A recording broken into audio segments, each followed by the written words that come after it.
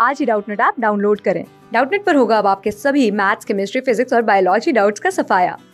बस अपने क्वेश्चन की फ़ोटो खींचो, उसे क्रॉप करो और तुरंत वीडियो सोल्यूशन पाओ। Download now. हेलो बच्चों यहाँ प्रश्न है कि दो सिक्कों को हज़ार बार उछाला जाता है और इसके परिणाम निम्नलिखित प्रकार के रिकॉर्ड किए जाते हैं। चित्तों की संख्या हमारी दो है अबारंबरता बीस दो सौ है, ठीक?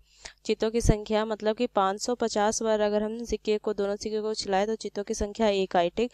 और 250 बार उछलाए तो हमारे चित्तों की संख्या एक भी नहीं है। तो इस सूचना के आधार पर अधिकतम एक चित्त की प्रायिकता हमें बतानी है, ठीक? चार विकल्प दिया हुआ है, ठीक? अब यहाँ से देखिए तो सबसे पहले अगर हम देखें तो प्रायिकता प्रायिकता होती क्या है? ये होती है हमारे अनुकूल परिणाम। यहाँ से लिखेंगे अनुकूल परिणाम।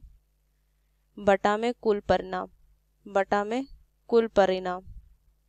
ठीक, ये होता है, ठीक। तो यहाँ से अगर हम कुल परिणाम, यहाँ से अगर हम देखें, कुल परिणाम तो ये कितना है? यहाँ से हमारा हज़ार है मतलब हज़ार बार उछलाया गया दोनों सिक्कों का, ठीक।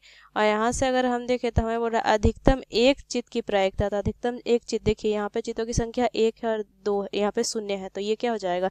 इसको तो हम नहीं लेंगे ठीक तो ये कितना हो जाएगा? यहाँ पे कुल परिणाम में हमारा अनुकूल परिणाम जो हो जाएगा, हमारा यहाँ से अनुकूल परिणाम कि हमारा चित्तों की संख्या अधिकतम आए, वो कितना हो जाएगा? 550 जोड़ में 250 हो जाएगा हमारा, ठीक? तो यहाँ से कितना हो जाएगा? ये हो जाएगा 800 तो हमारी अप्रायिकता अगर हम निकालें यहाँ से, प्रायिकता अधिकतम अधिकतम एक चित्त के लिए एक चित्त का तो ये क्या हो जाएगा? ये हो जाएगा अनुकूल परिणाम कितना हो जाएगा? 800 बटा में कुल परिणाम हज़ार।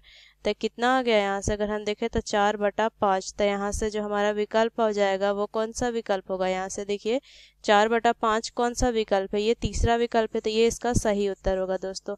तो आशा करते हैं प्रश्न आपको समझ में आया। धन्यवाद। क्लास सिक्स से ट्वेल्थ से लेके NEET I I T JEE mains और एडवांस के लेवल तक। दस मिलियन से ज़्यादा स्टूडेंट्स का भरोसा। आज ही डाउनलोड करें डाउटनेट ऐप या व्हाट्सअप कीजिए अपने डाउट्स आठ चार सौ चार सौ चार सौ पर।